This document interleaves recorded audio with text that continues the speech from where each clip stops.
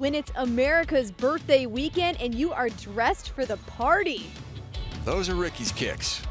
I need to get me some of those kicks. It was Military Appreciation Day on Saturday at Quicken Loans National, with a lot of players coming out supporting in their camouflage attire. Rickie Fowler included. He shot his first under par round of the tournament. Rickie found himself in quite the awkward spot in the bunker on 13. Just got to hit it as hard as he can, try to bounce it through that rough, and it did not go. He even had a chance to go lower on the final hole of the day, but the golf gods weren't on his side for that one. Yeah, this is the game that'll have you saying, you have to be kidding me. A slightly different reaction. Spencer Levin shooting a 65, the kind of day where you walk in putts. But some putts are worth jogging for.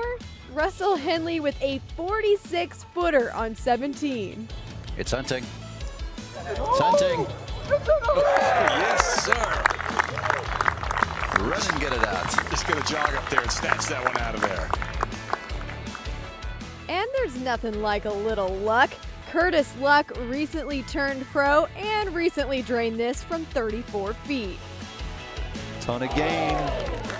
Players have been commenting all week long on how tough it is out here at TPC Avenel Farm, even comparing it to a U.S. Open caliber course. But when the afternoon rains came in and after the rain delay, things softened up and got a little interesting. Like a Keegan Bradley hole out from 144 yards for a walk-off eagle.